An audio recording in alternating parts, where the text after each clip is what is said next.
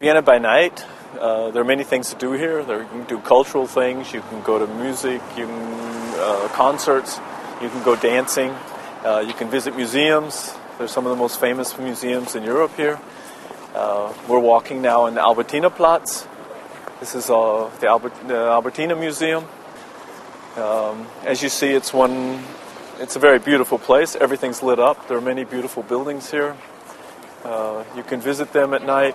You can uh, uh, go out to eat. You can spend as much money as you want. as you see, beautiful illumination. The lights are beautiful here. Behind us, we have a full moon. This will be a great place to come.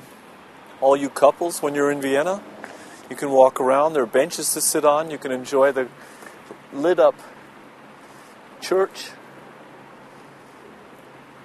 The full moon in the background, the clouds in front of it. The only thing missing is a witch.